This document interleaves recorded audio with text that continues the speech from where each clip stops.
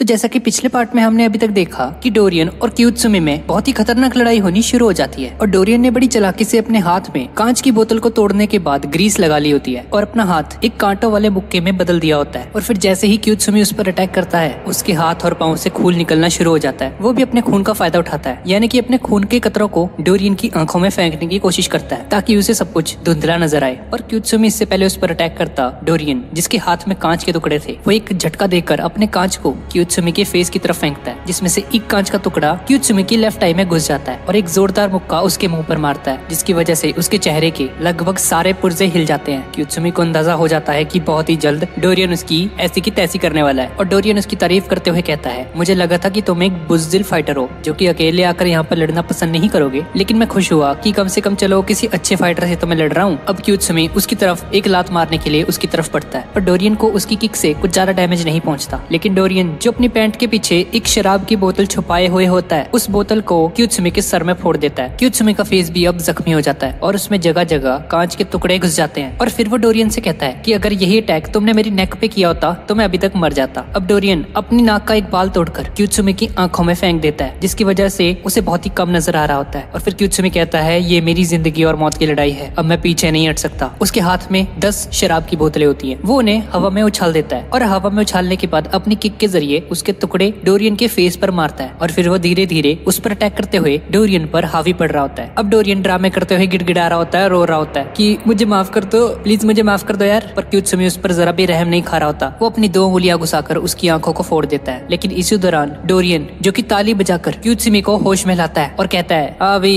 यही सब कुछ सोच रहे थे ना तुम कि तुम मुझे हरा दोगे? लेकिन तुम भूल गए हो। मैंने तुम्हें पहले भी बताया था कि तुम वो इंसान नहीं हो जो मुझे डिफीट कर सकता है। तुम्हारे सिर पर लड़ने का जुनून तो सवार है और तुम्हारी बॉडी इतनी ताकतवर नहीं है कि तुम मुझे हरा दो। और फिर डोरियन उसे बताता है कि मैंने तुम्हें एक हिप्नोसिस में कैद कर दिया था। तुम्हारी ख्वाहिश थी ना कि तुम मुझसे जीतो तो मैंने उसे सच कर दिया। और फिर क्यूट सुमी को समझ आता है कि ये सब कुछ डोरियन की एक चाल थी। वो उसकी हिप्नोसिस में उससे जीत रहा था। असली में ऐसा कुछ नहीं था। और फिर वो जैसे ही अपनी फिशिंग वायर को यूज़ करने की कोशिश करता है, डोरियन भी अपनी इनविजिबल वायर को यूज़ करता है और स्ट्रिंग के ज़रिए उसकी गर्दन को काट देता है। क्यूट सुमी मरते हुए डोरियन के बारे में सोच रहा होता है कि तुम बिल्कुल सही थे और मैं गलत था। मैं काफ़ी ज़्यादा एरोगेंट था। काश मैंने थोड़ी और मेहनत की होती। अपनी बॉडी को डोपोरोची की तरह मज़बूत बनाया होता। तो हो सकता है आज मैं ज़िंदा होता। दूसरी तरफ़ हम क्यूरेत्सु को देखते हैं, जो कि अपनी चाइनीज़ फाइटिंग स्टाइल की प्रैक्टिस कर रहा होता है। और फिर वो जैसे ही अपने सामने एक पंचिंग बैग को पंच करने लगते हैं तो उन्हें फील होता है कि इस पंचिंग बैग में कुछ गड़बड़ है। इसमें कोई चीज़ है। और फिर जैसे ही उस पंचिंग बैग को खोला जाता है तो उसके अंदर क्यूत्सुमी होता है, जो की अधमरी हालत में होता है। क्यूरेत्सु उसे पकड़ता है। वो लगभग मरने की कागार पर होता है। उसे बचाने के लिए फटाफट से एंबुलेंस को बुलाया जाता है। और फिर हमें शिनशिन काय अकेडमी का एक सीन दिखाया जाता है, जिसमें कात्सुमी के हाथ में क्यूत्सुमी की मेडिकल रिपोर्ट होती है। वो उसकी इंजरीज के बारे में अपने सभी साथियों को बता रहा होता है की उसके चेहरे की सारी हड्डियाँ टूट चुकी है। उसकी गर्दन को काटा गया है, उसकी पसलियों को तोड़ दिया गया है, और तो और उसकी पूरी बॉडी में से कांच के टुकड़े मिले हैं। उसकी उंगलियों को भी तोड़ा गया है। उसकी बॉडी का कोई भी ऐसा हिस्सा नहीं बचा, जिसपे कोई जख्म मौजूद ना हो। वो अपने आखिरी दम तक लड़ा। ये हमारे लिए एक बहुत ही प्राउड करने वाली बात है। और फिर वो डोरियन की तस्वीर पकड़ते हुए अपने सभी स्टूडेंट्स को बताता है कि हमारे जितने भी फाइटिंग क्लब्स हैं, सभी में इसकी तस्वीर भेज दो। ये बंदा जैसी तुम्हें दिखे, इस पे कोई रहम नहीं खाना। इसको जान से मार देना है तभी। अब जैसे ही ये बात डोरियन तक पहुँच जाती है, वो इस बात को वेरीफाई करने के लिए एक रेस्टोरेंट पे पहुँच जाता है, जहाँ शिनशिन काय डोजो के सभी स्टूडेंट्स मौजूद होते हैं। यहाँ तक कि उस मैनेजर का ताल्लुक भी शिनशिन काय अकेडमी से होता है। और फिर डोरियन, जो अपना फेस बदलने के बाद उससे सारी इन्फॉर्मेशन ले रहा होता है और टैक्सी में बैठकर वहाँ से जाने लगता है, वो टैक्सी ड्राइवर भी शिनशिन काय अकेडमी का एक स्टूडेंट होता है। और वो डोरियन के बारे में पूछ रहा होता है की वो तो बहुत ही बुरा इंसान है, उसने कई लाख लोगों को अपना दुश्मन बना लिया अगर वो बंदा पब्लिक में कहीं भी नज़र आया तो आप लोग तो उसे मार दोगे? ये सुनकर ड्राइवर कहता है हाँ सही कह रहे हो भाई तुम। अगर डोरियन हमें कहीं भी नज़र आ गया तो हम उसे ज़िंदा नहीं छोड़ेंगे। उसने हमारे दो फाइटर्स का बहुत बुरा हाल किया है। और इसके साथ ही हमें शिनशिन का अकेडमी का एक बहुत ही बड़ा नेटवर्क दिखाया जाता है। यहाँ तक कि एंबुलेंस चलाने वाले और पुलिस ऑफिसर्स भी शिनशिन का अकेडमी के मेंबर्स होते हैं, जो की ये सारी इन्फॉर्मेशन काटसुमी तक पहुँचा रहे होते और फिर वो ड्राइवर धीरे धीरे उसे एक पार्क की तरफ़ ले जाता है, जहाँ शिनशिन का अकेडमी के सारे के सारे स्टूडेंट्स वहाँ पर मौजूद होते हैं। और फिर वो ड्राइवर उतर कर कहता है, तुम्हें क्या लगा? तुम फेस बदल कर आओगे और हम तुम्हें पहचान नहीं पाएँगे? हमने तुम्हें पहचान लिया था जब तुम रेस्टोरेंट में आए थे। अब नहीं छोड़ने वाले बेटा हम तुम्हें। और फिर वो ड्राइवर उस पर हमला कर देता है। और डोरियन उसके एक ही हाथ से उसके सारे के सारे टैक्स को रिपेल कर रहा होता है, जैसे वो किसी बच्चे के साथ लड़ रहा होता, जिसे देखकर सभी लोग सहम जाते हैं थोड़ा। डोरियन बोलता है, अगर तुम लोग मुझ पर एक एक करके अटैक करते रहे तो मैं सारी रात भी तुमसे लड़ सकता हूँ। और इसका रिज़ल्ट सिर्फ़ एक ही निकलेगा, मेरी जीत। अगर तुम लोग मुझे हराना चाहते हो तो सारे के सारे मुझ पर टूट पड़ो।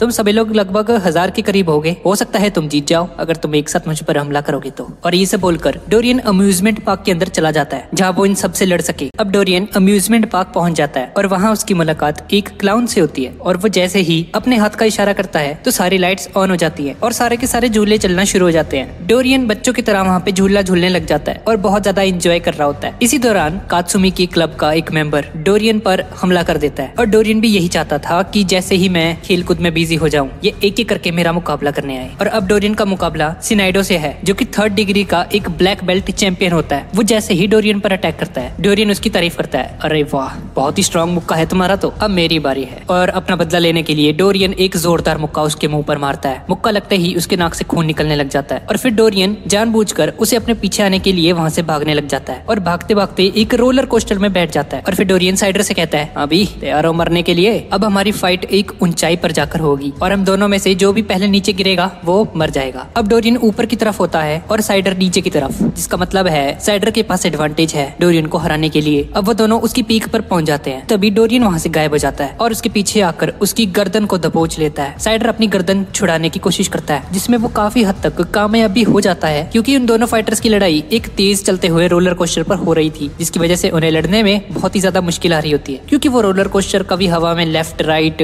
आगे, पीछे, ऊपर, नीचे होता रहता है। इसलिए उस पर बैलेंस बनाना बहुत ही ज़्यादा मुश्किल होता है। और फिर अचानक से साइडर को याद आता है कि मास्टर डोपोरोची ने उसे इस सिचुएशन से भी डील करना सिखाया था कि अगर तुम्हारी फाइट ट्रेन में या बस या बोट में किसी से हो जाए तो तुम कैसे अपने बैलेंस को ठीक रखोगे? और फिर इस टेक्निक के बारे में हमें बताया जाता है कि जब वो पहले जहाजों में लड़ा करते थे तो समुद्र की लहरों की वजह से लेफ़्ट राइट होते रहते थे वो जहाज़। लेकिन इसी दौरान पायरेट्स ने एक नए तरीके से लड़ना शुरू करा और इस तरह वो अपने बैलेंस को बरकरार रख सकते थे। अब यही तरीका साइडर भी अपना लेता है और वो धीरे धीरे डोरियन पर भारी पड़ना शुरू हो जाता है और भारी मुक्के और लाते मारने के बाद भी अपने बैलेंस को बरकरार रख रहा होता है। और फिर जैसे ही डोरियन को इस बात का अंदाज़ा हो जाता है कि अगर मैं इस रोलर कोस्टर पर लड़ता रहा तो हो सकता है कि मैं हार जाऊँ। तो वो साइडर को पकड़ता है और उसके मुँह को पकड़ते हुए ज़मीन पर गिरा देता है। नीचे की तरफ़ साइडर होता है और उसके ऊपर डोरियन होता है, जिसकी वजह से साइडर काफ़ी ज़्यादा जख्मी हो जाता है। और फिर वो जैसे ही ज़मीन पर टकराते हैं तो डोरियन को ज़्यादा चोट नहीं आई होती, पर साइडर की हालत बहुत ही ज़्यादा खराब हो जाती है। और फिर जैसे ही डोरियन उसे हराने में कामयाब हो जाता है तो वो पीछे मुड़कर देखता है कि उसके पीछे कात्सुमी कायुरेत्सु और डोपोरोची भी होते हैं। कात्सुमी उसे चिल्ला चिल्ला कर बोलता है, एक नंबर का चीटर है, एक नंबर का। तुझे फेयर फाइट के बारे में कुछ नहीं पता। डोरियन यही सवाल कायुरेत्सु से पूछता है। हाँ वी, सच कह रहा है ये कात्सुमी? ये बात सुनकर कायुरेत्सु थोड़ी देर के लिए चुप हो जाता है और फिर फ्लैशबैक में हमें कुछ सीन्स दिखाई जाते हैं, जहाँ पर कुछ मॉन्क ने मास्टर को एक टेस्ट दे रहा होता है। पर कायोरेत्सु भी चाहता है की उसे कायो का टाइटल मिले, इसलिए वो अपने मास्टर से कहता है की मैं भी ये टेस्ट देना चाहता हूँ, आप मेरा टेस्ट क्यों नहीं लेते हो? ये सुनकर वो मास्टर उसे कहता है, आओ,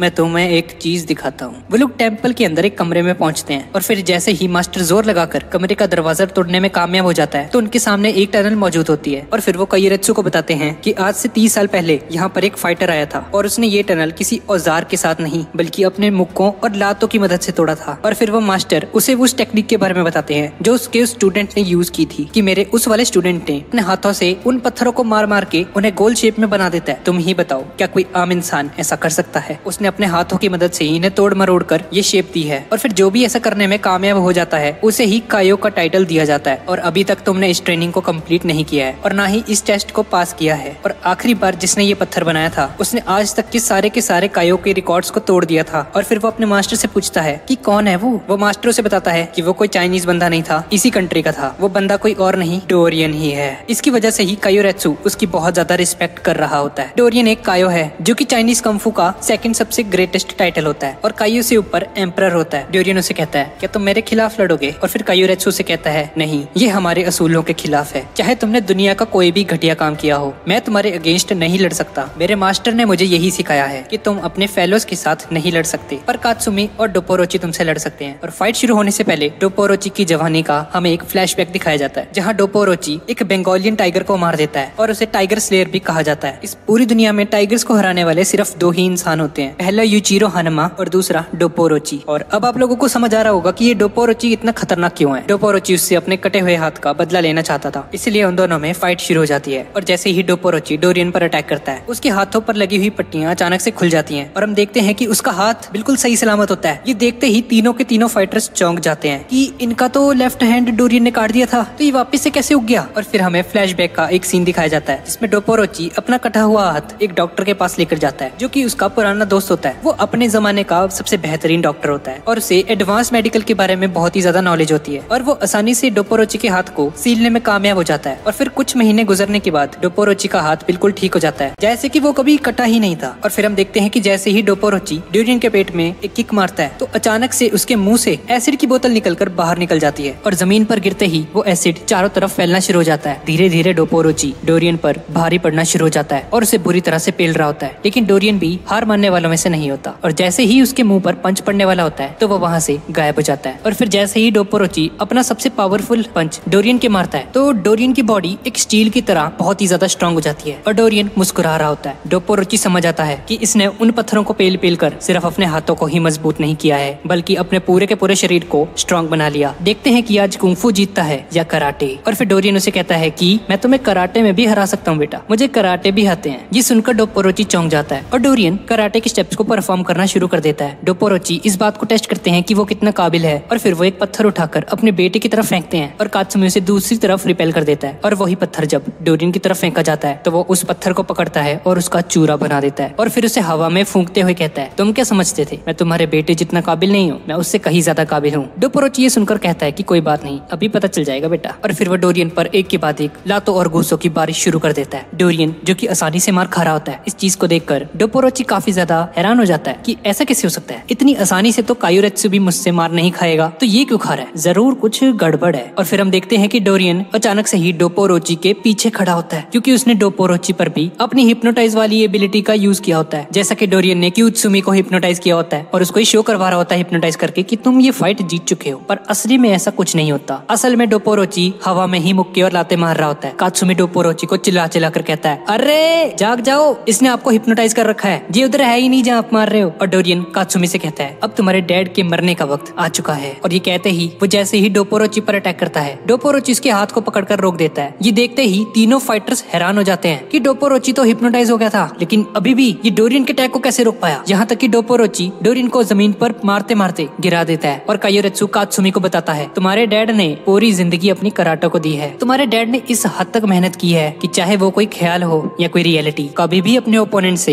हारना पसंद नहीं करेंगे। और कात्सुमी को पहली बार समझ आता है कि एक असली फाइटर कैसा होता है और असली लड़ाई किसे कहते हैं। डोरियन जो कि पहले मार खा रहा होता है, वो फिर से अपने कदमों पर खड़ा होता है और वो अपनी उंगली से डोपोरोची पर अटैक करने की कोशिश करता है। लेकिन डोपोरोची उसके इस अटैक को रोक देता है और फिर डोरियन अपनी टूटी हुई उंगलियों की तरफ़ देखते हुए कहता है कि मैंने सुना था कि जापान में एक ऐसा शख्स मौजूद है जिसके हाथों में इतनी ज़्यादा ताकत है कि वो हर चीज़ को तोड़ फोड़ सकता है। कहीं वो तुम तो नहीं हो, डोपोरोची? तुमसे लड़ना मेरी खुश नसीबी है। और ये बोलते ही वो हमेशा से कोई ना कोई तरकीब लगाते हुए अपने जूते में छुपाए हुए खंजर को डोपोरोची के मारने की कोशिश करता है। लेकिन डोपोरोची अपने नंगे हाथों से उस खंजर को पकड़ लेता है और एक जोरदार लात डोरियन के मुँह पर मारता है। डोरियन लात लगते ही ज़मीन पर गिर जाता है और डोरियन सोचता है कि शायद यही वो इंसान है जो मुझे हार का मज़ा चखा सकता है। अब डोपोरोची डोरियन की बुरी तरह से धुलाई करने लग जाता है और उसे कहता है, क्या हुआ? तुमने तो मुझे कहा था कि तुम मुझे हरा दोगे, लेकिन अब तुम्हें क्या हुआ? कहा गया वो तुम्हारा जोश? डोरियन उस पर फिर से अटैक करने की कोशिश करता है, पर डोपोरोची अपनी बेहतरीन किक से उस पर हमला कर देता है और उसकी पसलियों को तोड़ देता है और धीरे धीरे डोरियन की बॉडी की सारी की सारी हड्डियाँ टूटनी शुरू हो जाती है। वो डोपोरोची के सामने घुटने टेक कर बैठा होता है और फिर जैसे ही डोपोरोची उस पर अपना फाइनल पंच मारकर उसे खत्म करने वाला होता है, एक डॉक्टर क्यूत्सुमी को लेकर वहाँ पर पहुँच जाता है। ये वही बंदा था जिसकी डोरियन ने एकदम बैंड बजा दी थी। वो तो कायोरेत्सु ने उसे हॉस्पिटल पहुँचा दिया था, वरना ये बंदा नहीं बचने वाला था। और फिर क्यूत्सुमी का डॉक्टर डोपोरोची के पास आकर उसे कहता है, ये सब कुछ तुम्हारी वजह से हो रहा है। अगर तुम अपने स्टूडेंट के साथ शो ऑफ़ ना करते तो वो अपनी ताकत दिखाने के बहाने कभी भी डोरियन से फाइट नहीं करता और उसका ये हाल ना होता। अब तुम ये बताओ तुमने इसे क्यों बुलाया है यहाँ पर? और फिर डोपोरोची से कहता है कि मैं चाहता हूँ कि क्यूत्सुमी फाइनल अटैक मारे इस पर और डोरियन को मारते ये सुनते ही वो डॉक्टर हैरान हो जाता है कि अभी तो ये बंदा मरते मरते बचा है। क्यूत्सुमी अपने पाँव पर खड़ा जाता है और वो व्हील को पीछे फेंकता है और वो आगे बढ़कर डोरियन के पास जाता है और एक जोरदार पंच डोरियन के मुँह पर मारने ही वाला होता है कि इसी दौरान डोरियन चिल्लाना शुरू कर देता है और कहता है मैं हार मानता हूँ। मुझे माफ़ कर दो।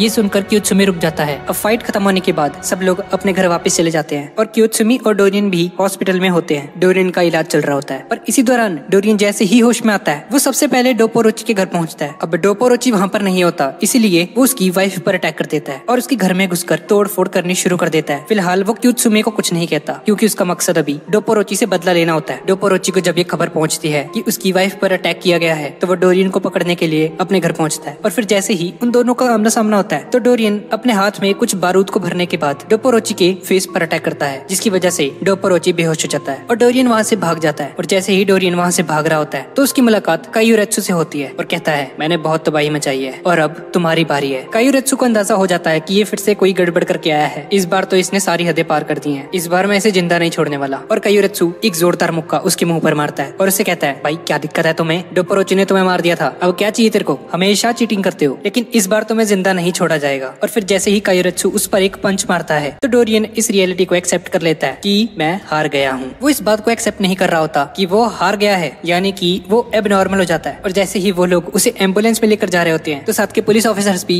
डर रहे होते हैं कि अगर ये बंदा होश में आ गया, न जाने पता नहीं क्या हाल करेगा ये हमारा। और फिर जैसे ही डोरियन होश में आता है तो कायूरेत्सु कहता है, घबराने की कोई ज़रूरत नहीं है। इसने अपनी हार को एक्सेप्ट कर लिया है। अब ये दोबारा से किसी से फाइट नहीं करेगा। अब दूसरी तरफ़ हम देखते हैं कि बाकी जैसे ही अपनी गर्लफ्रेंड को उसके घर छोड़कर जाता है तो कोजाई ये सोच रही होती है कि काश बाकी थोड़ी देर और रुक जाता, लेकिन बाकी वहाँ से चला जाता है। और फिर जैसे ही कोजाई खिड़की बंद करने लगती है। तो अचानक से सिकौरसी वहाँ पर आ जाता है। कोजाई चिल्लाने लगती है, पर सिकौरसी उसके मुँह पर हाथ रख देता है और उसे कहता है, अगर तुमने चिल्लाने की कोशिश की तो घर में तुम्हारी मॉम भी है। तुम्हारे साथ साथ मैं उसे भी मार डालूँगा। ये सुनकर वो चुप हो जाती है और सिकौरसी से पूछती है, क्या चाहिए तुम्हें? सिकौरसी उसे बोलता है, मुझे बाकी चाहिए। तुम्हें बाकी चाहिए। रुको, अभी उसे बुलाती हूँ। मेरी एक आवाज़ लगाते ही वो यहाँ पर आ जाएगा। पर सिकौरसी बोलता है, तुम्हें बाकी पर इतना ही यकीन है? चिल्लाओ। और फिर वो जैसे ही कोजाई पर अटैक करने आगे बढ़ता है तो कोजाई ज़ोर से चिल्लाती है और इससे पहले की कौरसी उस पर अटैक कर पाता बाकी वहाँ पर पहुँच जाता है और उस पर एक जोरदार पंच मारता है। उसकी चीख सुनकर कोजाई की मोम भी वहाँ पर पहुँच जाती है, लेकिन वो देखती है कि बाकी और सिकौरसी के बीच फाइट चल रही है। उन दोनों में बहुत ही खतरनाक लड़ाई होनी शुरू हो जाती है और सिकौरसी मार खाते हुए कहता है, बहुत खूब। मैंने सुना है कि तुम दुनिया के सबसे ताकतवर लड़के हो। तो मैं अपनी हार का मज़ा चखने तुम्हारे पास आया हूँ। क्या तुम मेरी मदद करोगे? बाकी उसे कहता है, तुमने यहाँ पर आकर बहुत बड़ी गलती कर दी। आज का दिन तुम्हारी ज़िंदगी का आखिरी दिन होने वाला है। वो एक जोरदार टक्कर सिकौरसी के मुँह पर मारता है और फिर वो जैसे ही सिकौरसी को उठाकर खिड़की से बाहर फेंकने वाला होता है तो वो बाहर जाकर देखता है कि वहाँ सिकौरसी नहीं, सिर्फ़ उसका कोट ही होता है। वो समझ जाता है कि सिकॉर्सी ने उसको पागल बनाया है, और फिर वो जैसे ही खिड़की के ज़रिए वापस कमरे में जाकर देखता है कि खुजाई की मोम जख्मी लेटी हुई है, और वहाँ पर कुजाई मौजूद नहीं है, यानी कि सिकौरसी उसे उठाकर ले गया है। सिकौरसी, जो की कुजाई को बांधने के बाद उसे दूसरी बिल्डिंग में ले जा रहा होता है, बहुत ज़्यादा खुश हो रहा होता है की अब तो उसे मेरे पास आना ही पड़ेगा। दूसरी तरफ़ पुलिस स्टेशन में ये मीटिंग चल रही होती है की जब से ये पाँच कैदी हमारी कंट्री में आए हैं, इन लोगों ने आते ही छह लोगों की जान ले ली है, और जगह जगह तबाही मचा रखी है। दो लोगों को तो हमने गिरफ़्तार कर लिया है, पर अभी भी तीन लोग फरार हैं और इसी बातचीत के दौरान इसका एक सोल्यूशन निकाला जाता है कि उन सभी कैदियों को पकड़ने के लिए हमें अपना सबसे खतरनाक कैदी बाहर निकालना होगा, जिसका नाम मिस्टर अनचेंड ओलीवा होता है और वो यूजीरो हनमा का एक दोस्त होता है और दुनिया का सेकंड स्ट्रॉन्गेस्ट मैन माना जाता है। उसको मिस्टर अनचेंड क्यों कहा जाता है? क्योंकि उसे जेल में रखना बहुत बड़ी परेशानी की वजह होती है। वो अपनी मर्ज़ी से जेल में आता है और अपनी मर्ज़ी से ही जेल में वापस जाता है। यहाँ तक कि उसने जेल में रहने के लिए एक महल बनाया होता है और फिर देखते ही देखते वो पुलिस इंस्पेक्टर उस जेल की पुलिस से कांटेक्ट कर रहा होता है और उस जेल की तरफ़ जाता है जहाँ मिस्टर अनचेंड को रखा होता है। मिस्टर अनचेंड किसी की भी बात नहीं मानता और अगर हाँ कर देता है, अपने वादे को पूरा करता है। वो लोग मिस्टर अनचेंड के पास मदद मांगने जा रहे होते हैं और कहते हैं, प्लीज़ तुम इन तीन कैदियों को पकड़ो और बदले में तुम्हें जो भी चाहिए, तुम्हें दिया जाएगा। और फिर देखते ही देखते वो पुलिस इंस्पेक्टर, अमेरिका की सबसे खतरनाक जेल एरिजोना प्रेजेंट स्टेट में पहुँच जाता है। उस पुलिस इंस्पेक्टर का नाम माइकल होता है और वो हमारे पुलिस ऑफिसर से कहता है कि अब इसके बाद तुम्हें खुद जाना पड़ेगा। यहाँ से अनचेंड का इलाका शुरू हो जाता है और फिर जैसे ही जापान का पुलिस इंस्पेक्टर आगे बढ़ रहा होता है तो वो देखकर हैरान हो जाता है कि दरवाज़ा खोलने के बाद मैं तो एक नई दुनिया में आया हूँ। जैसे ये बहुत बड़ा महल हो कोई क्या किसी कैदी को इतना प्रोटोकॉल दिया जा सकता है की वो एक जेल की जगह, एक महल में ज़िंदगी बिताए अपनी। और फिर जैसे ही उसकी नज़र मिस्टर अनचेंड पे पड़ती है तो वो परेशान हो जाता है। ये तो बहुत ही बड़ा इंसान है। देखने में बिल्कुल किसी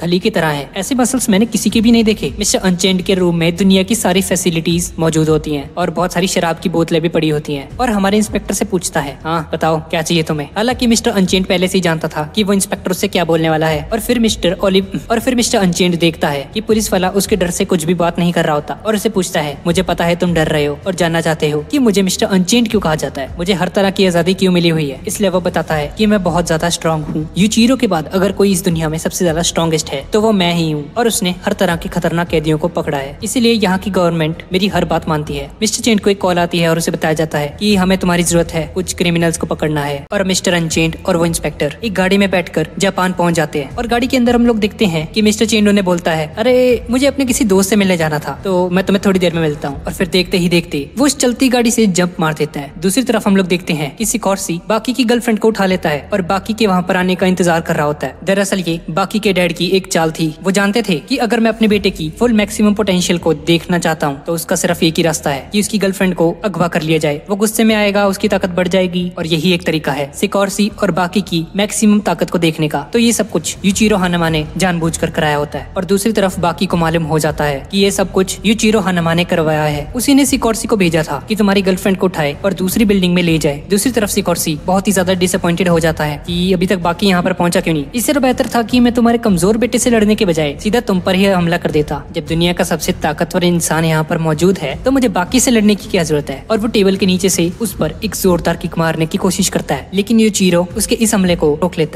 और फिर जैसे ही सिकॉर्सी उस पर एक दूसरा पंच मारने की कोशिश करता है तो इसी दौरान मिस्टर अनचेंड वहाँ पर पहुँच जाता है और उसके हाथ को पकड़ कर दबा देता है। सिकॉर्सी उसे कहता है, ओए, छोड़ मेरे हाथ को। और फिर जैसा की आपको याद है की मिस्टर अनचेंड ने चलती गाड़ी में से छलांग लगाई थी की मैं अपने किसी दोस्त से मिलने जा रहा हूँ तो वो यूचीरो आनमा से ही मिलने आया होता है यहाँ पर। सिकॉर्सी बहुत ही ज़्यादा परेशान होता है की एक ने मेरी किक को रोक लिया और दूसरे इंसान ने मेरी बाजू को पकड़ लिया। मतलब मैं तो इन दोनों के सामने कुछ भी नहीं हूँ। सिकॉर्सी उसे कहता है की गलती से मिस्टेक हो गई, मुझे बाकी से ही लड़ना चाहिए। अब बाकी भी वहाँ पर पहुँच जाता है। और जैसे ही वो कमरे में आता है तो अपने राइट साइड में देखता है कि उसके डैड के साथ उसके बेस्ट फ्रेंड मिस्टर अनचेंड वहाँ पर खड़े हैं। और फिर जैसे ही बाकी की नज़र उसकी गर्लफ्रेंड पर पड़ती है तो वो गुस्से में पागल हो जाता है। बाकी एक शेर की तरह दहाड़ने लग जाता है, जिसे देखकर मिस्टर अनचेंड और उसके फादर समझ आते हैं कि अब इन दोनों के बीच में एक बहुत ही खतरनाक लड़ाई होनी शुरू होने वाली है। और फिर बाकी एक जोरदार हमला करता है सिकॉर्सी के मुँह पर और उसे मारते मारते बिल्डिंग से बाहर फेंक देता है और सिकॉर्सी नीचे गिर जाता है। मिस्टर अनचेंड बाकी के पास आता है और उसे कहता है, बहुत खूब। मुझे नहीं लगता की वो ज़िंदा बचा होगा, लेकिन बाकी उसकी बातों पर ध्यान नहीं दे रहा होता। उसे बस हर किसी को मारने का जुनून सवार हो जाता है उसके सर पर। उसे पता होता है कि ये सब कुछ उसके डैड ने किया है और मिस्टर अनचेंड भी इसमें शामिल है। और फिर क्या था? वो मिस्टर अनचेंड पर हमला कर देता है। मिस्टर अनचेंड काफ़ी ज़्यादा जख्मी हो जाता है और सोचता है, ये क्या? बाकी इतने स्ट्रॉन्ग कैसे है? एक सत्रह साल के बच्चे में इतनी ताकत? ये सच में यूचीरो हानमा का बेटा है। उसे खत्म करने के लिए एक फाइनल पंच उसके मुँह पर मारने की कोशिश करता है। तो वो बड़ी आसानी से इस पंच को बर्दाश्त कर लेता है। बाकी ये देखकर पीछे की तरफ़ फटने लगता है। वो बाकी की तारीफ़ करता है और उसे कहता है, तुमसे मिलकर काफ़ी अच्छा लगा। काफ़ी स्ट्रॉन्ग हो तुम और इसी दौरान सिकॉर्सी बाकी के पीछे आकर उस पर अटैक कर देता है। बाकी उसके अटैक को डॉज करता है और एक बैक फ्लिप लेता है और एक जोरदार किक सिकॉर्सी के मारता है। लेकिन सिकॉर्सी भी उस किक को डॉज कर लेता है और दूर जाकर खड़ा हो जाता है। बाकी इससे पूछता है, ओए, मैंने तो तुम्हें बिल्डिंग से नीचे गिरा दिया था तो फिर तुम कैसे बच गई और फिर सिकॉर्सी उन सभी लोगों को बताता है कि, मेरे हाथों में बहुत ज़्यादा ताकत है। यहाँ तक कि नीचे गिरते वक्त मैंने एक मेटल की दीवार को पकड़ लिया था। मैंने अपने हाथों की उंगलियों को दीवार के साथ घुसा दिया, लेकिन मेरे अंदर ये काबिलियत है कि मैं किसी भी दीवार को चढ़ सकता हूँ। बाकी उस पर एक के बाद एक अटैक कर रहा होता है।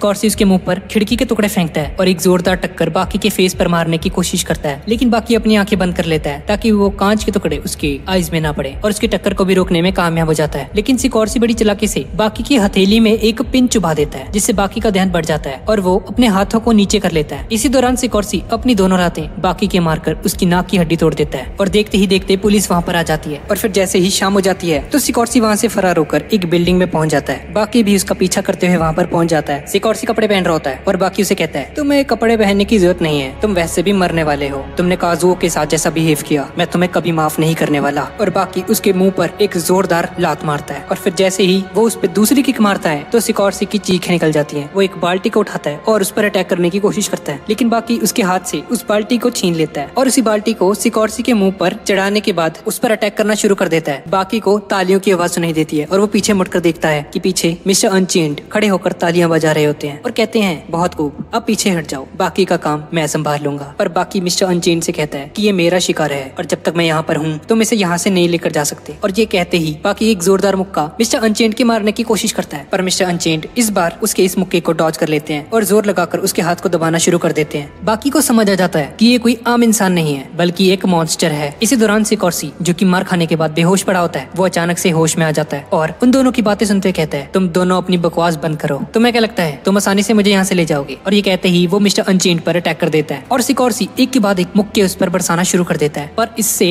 अनचेंड को कुछ नहीं होता। और सिकॉर्सी सोचता है कि अगर सेम यही मुक्के अगर मैं किसी आम इंसान पर मारता भी तो वो अभी तक मर चुका होता। पर इसे तो एक खरोंच तक नहीं आई है। मिस्टर अनचेंड को उसके इस अटैक से कोई फ़र्क नहीं पड़ता। मिस्टर अनचेंड कहता है, हो गया बेटा तेरा। चल, अब मेरी बारी। और मिस्टर अनचेंड अपने एक ही मुक्के में अपनी सारी ताकत को इकट्ठा करने के बाद एक धमाकेदार मुक्का सिकॉर्सी के मुँह पर मारता है। और ये मुक्का पड़ते ही सिकॉर्सी बिल्डिंग के शीशे तोड़ता हुआ नीचे ज़मीन पर आ जाता है और इस सीरीज़ का दूसरा पार्ट यहीं पे खत्म हो जाता है। तो गाइज़ ये थी आज की वीडियो और अगर आपको इसका अगला पार्ट चाहिए तो नीचे कॉमेंट पे मुझे ज़रूर बताइएगा। और मिलते हैं इसके अगले पार्ट में।